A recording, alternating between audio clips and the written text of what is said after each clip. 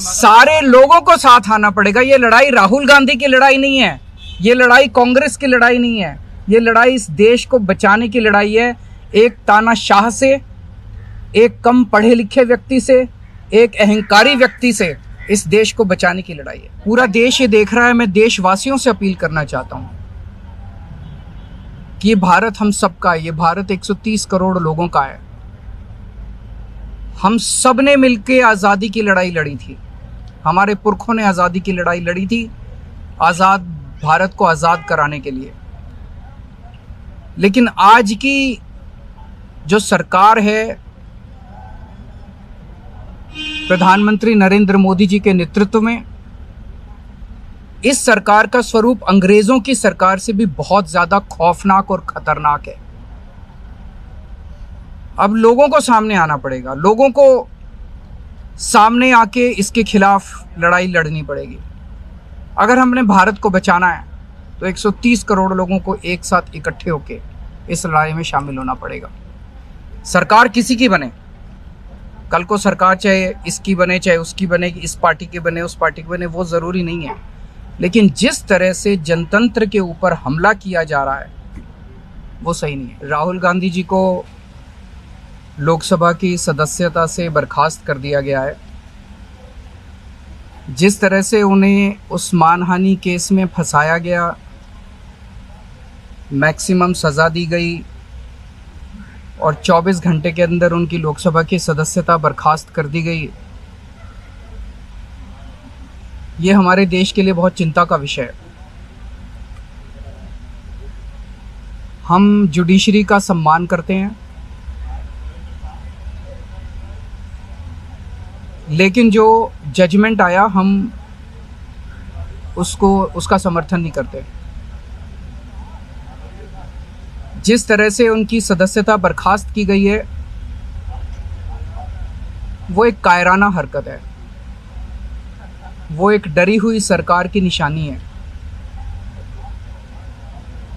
लेकिन देश के लिए पूरा, आजकल देश के अंदर जो चल रहा है, वो देश के लिए बहुत खतरनाक है। पूरे देश से ये एक ऐसा माहौल बनाना चाहते हैं कि देश में बस एक ही पार्टी बचे। वन नेशन वन पार्टी और सारी पार्टियों को ख़त्म कर दिया जाए। ये एक ऐसा माहौल बनाना चाहते हैं कि एक ही नेता बचे। वन नेशन वन लीडर बाकी सारे लीडर्स को ख़त्म कर दिया जाए। इसी को तो तानाशाही कहते हैं, इसी को तो डिक्टेटरशिप कहते हैं। पूरा देश ये देख रहा है, मैं देशवासियों से अपील करना चाहता हूँ कि ये भारत हम सबका है, ये भारत 130 करोड़ लोगों का है। हम सबने मिलकर आज़ादी की लड़ाई लड़ी थी। हमारे पुरखों ने आज़ादी की लड़ाई लड़ी थी, आज़ाद भारत को आज़ाद कराने के लिए। लेकिन आज की जो सरकार है, प्रधानमंत्री नरेंद्र मोदी जी के नेतृत्व में इस सरकार का स्वरूप अंग्रेज़ों की सरकार से भी बहुत ज़्यादा खौफनाक और खतरनाक है। अब लोगों को सामने आना पड़ेगा। लोगों को सामने आके इसके खिलाफ लड़ाई लड़नी पड़ेगी। अगर हमने भारत को बचाना है तो 130 करोड़ लोगों को एक साथ इकट्ठे होके इस लड़ाई में शामिल होना पड़ेगा। सरकार किसी की बने? कल को सरकार चाहे इसकी बने, चाहे उसकी बने, इस पार्टी के बने, उस पार्टी के बने, वो ज़रूरी नहीं है। लेकिन जिस तरह से जनतंत्र के ऊपर हमला किया जा रहा है, वो सही नहीं है। पार्टियाँ इंपॉर्टेंट नहीं है, मैंने कहा। लोग इंपॉर्टेंट हैं। अभी अभी मैंने संसद के अंदर विधानसभा के अंदर एक एग्ज़ाम्पल दिया। एक ऑटो रिक्शा वाला मिला।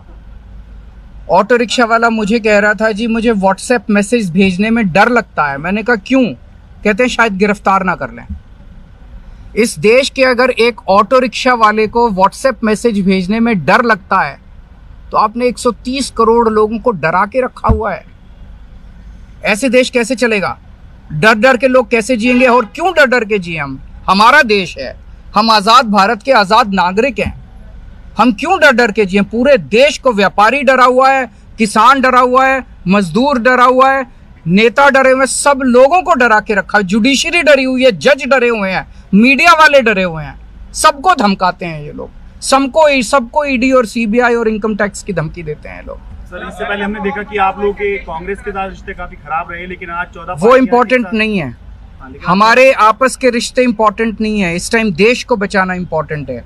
मीडिया के ऊपर प्रहार हो और मैं अगर कहूँ कि मेरी इस चैनल से बनती नहीं है वो इम्पोर्टेंट नहीं है। किसी से बनती है या किसी से नहीं बनती, इससे व्यक्तिगत अच्छे रिश्ते हैं कि व्यक्तिगत बुरे रिश्ते हैं, वो इंपॉर्टेंट नहीं है। 130 करोड़ लोगों को सब लोगों को साथ आना पड़ेगा। सारे लोगों को साथ आना पड़ेगा। ये लड़ाई राहुल गांधी की लड़ाई नहीं है। ये लड़ाई कांग्रेस की लड़ाई नहीं है। ये लड़ाई इस देश को बचाने की लड़ाई है। एक तानाशाह से, एक कम पढ़े लिखे व्यक्ति से, एक अहंकारी व्यक्ति से इस देश को बचाने की लड़ाई।